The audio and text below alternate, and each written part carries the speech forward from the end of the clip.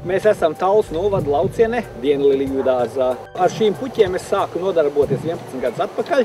Iegādājos tajā laikā no Amerikas pašas, pašas gaistākās un labākās puķis, kāds bija.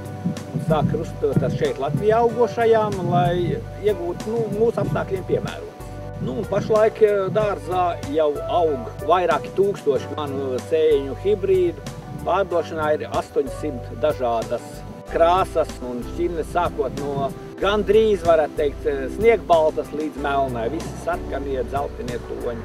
Pats labākais laiks dārza apmeklēšanai ir ziedēšanas laiks jūlijas augusts, kad šeit viss skaisti un krāšņi zied, un tik lielu šķiņu krāsu dažādību jūs Eiropā nekur neatradīsiet. Brauciet uz laucieni, uz Dienlīdu dārzu, priecājieties par šo krāšņumu.